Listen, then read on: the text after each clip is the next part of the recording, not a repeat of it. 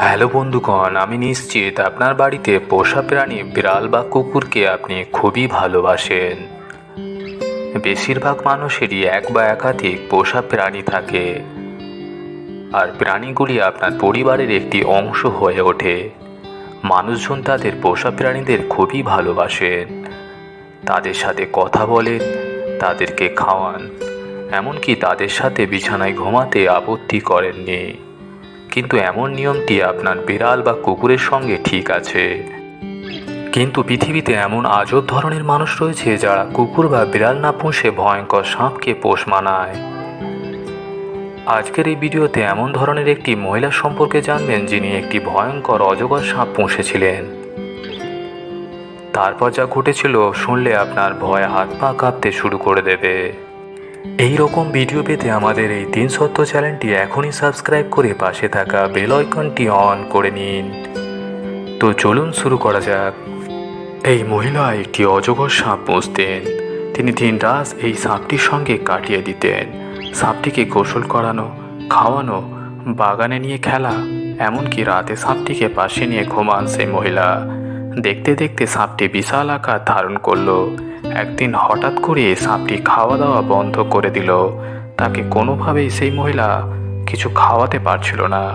সে সারাদিন চুপচাপ এক জায়গায় গুটিসুটি হয়ে শুয়ে থাকতো। কিন্তু রাত হলেই সে তার মালিকের কাছে বিছানায় মহিলাটার গা ঘিয়ে ঘুমায়। মহিলাটির খুব মায়া হয়। তিনি ভাবেন সাপটির হয়তো খারাপ কোনো অসুখ করেছে।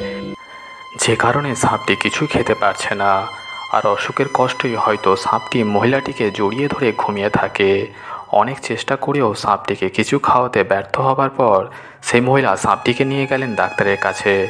সাপটি পরীক্ষা নিরীক্ষা করে ডাক্তার মহিলাটিকে প্রশ্ন করলেন, অজগর সাপটি রাতে কোথায় ঘুমায়?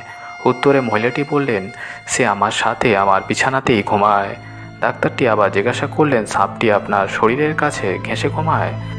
মহিলাটি বললেন হ্যাঁ ঠিক তাই। সে আমাকে জড়িয়ে ধরে ঘুমায়। ডাক্তার বেশ চিন্তিত দেখল। তিনি বললেন, আপনার সাপের কোনো রোগ হয়নি। বেশ কিছুদিন যাবৎ না খেয়ে আছে, কারণ সে একটি বড় ভোজের আয়োজন করছে। সে আপনাকে তার শরীরে দিয়ে পেঁচিয়ে পরীক্ষা করছে, আপনার আকার আকৃতি কত বড় এবং আপনাকে খেয়ে ফেলতে তার শরীরে কতটা জায়গা দরকার। শুধু তাই নয়, আপনাকে খেয়ে হজম করার জন্য সে এতদিন না খেয়ে নিজেকে অভুক্ত রেখেছে। সঠিক সময় আপনাকে গিলে ফেলবে বলে ডাক্তারের মুখে ব্যাখ্যা শুনে অজগর সাপের মালিক একেবারে হতভঙ্গ হয়ে গেলেন। তিনি বিশ্বাসই করতে পারছিলেন না যে তার জন্য কি অপেক্ষা করছিল। তিনি এই সাপটি আদৌ যত্নে বড় করেছেন, অথচ তিনি ভুলে গিয়েছিলেন এটি একটি ভয়ঙ্কর মানুষ খেকো প্রাণী। আর কিছুদিন দেরি করলেই হয়তো তিনি তার পোষা অজগর সাপের খাবারে পরিণত হতেন। গল্পটি থেকে আমরা শিক্ষা পেলাম, কাউকে কখনো অন্ধের মতো বিশ্বাস করবেন না। কেউ আপনার সাথে হেসে কথা বললে ভাববেন না সে আপনার পরম বন্ধু হয়ে গেল।